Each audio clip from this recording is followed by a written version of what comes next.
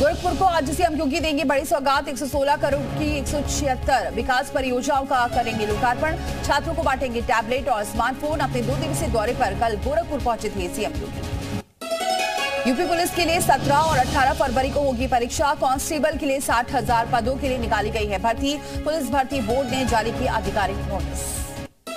लोकसभा चुनाव को लेकर लखनऊ में हुई बीजेपी की अहम बैठक। हर सीट का प्लान हुआ तैयार। 4 फरवरी से 11 फरवरी तक चलेगा गाँव चलो अभियान। सरकार के काम को लेकर जनता के बीच पहुंचेगी बीजेपी।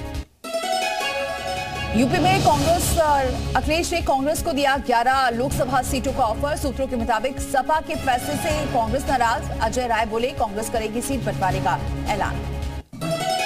बाराबंकी में ड्रग और तस्करों पर बड़ा एक्शन, सात करोड़ की संपत्ति की गई। कुर्क रिकॉर्ड कार्रवाई में तस्करों से में मचा हड़कंप।